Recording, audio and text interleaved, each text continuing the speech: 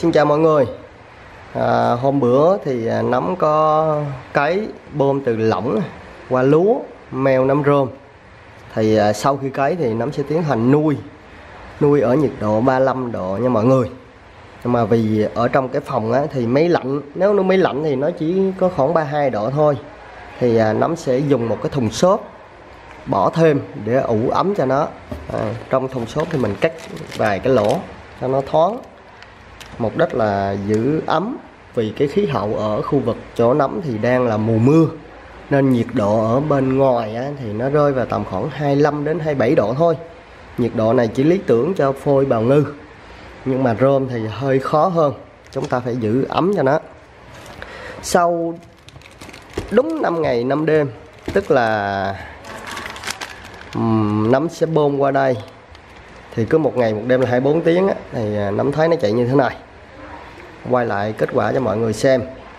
Thì à, năm thấy cái à, cái tơ bung cũng khá là nhanh nhưng mà có vẻ là hơi hơi mảnh. Thì à, có thể là cái bịch này là à, cái khúc chỗ này là giá thể lúa này nó hơi khô. Cái thứ hai là chỉ có mới 5 ngày thôi nhưng mà tốc độ như này thì nắm thấy cũng khá là nhanh đó.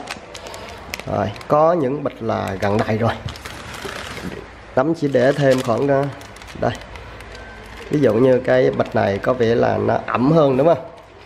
À, nó ẩm hơn thì à, nó chạy tốt hơn. Như vậy thì chúng ta à, phát hiện ra một vấn đề nó là nó khô quá thì tơ nó mỏng. Đấy. mà ẩm quá thì không tốt mà ẩm vừa thôi đủ ẩm là được. Ẩm quá thì nắm thấy có một vài bịch ẩm quá này. Đây này. Đây ẩm quá này ẩm quá này. Thấy? Như vậy ẩm quá thì khiến cho nó hầu như là nó cũng chạy kém đó. Rồi hãy chia sẻ cho mọi người. Thì đây là à, các cái à, kết quả đạt được. Cũng khá là tốt. Tùy mọi người có mỗi cách làm khác nhau nha. Có thể chúng ta bơm thẳng à, từ lỏng qua trấu cũng được. Còn đây thì nắm bơm qua lúa. Sau đó tiến hành dùng lúa để cấy qua trấu rồi à, như vậy thì nắm chia sẻ cái kết quả cho mọi người à, xem. Bạch à, đây gần đầy luôn nè. Mọi người. Rồi chờ nó lên à, ba trầu chấm nữa là đem cấy là ok. Cái khoảng mấy ngày nữa thôi. Rồi cũng cảm ơn tất cả mọi người à, đã theo dõi cái video này.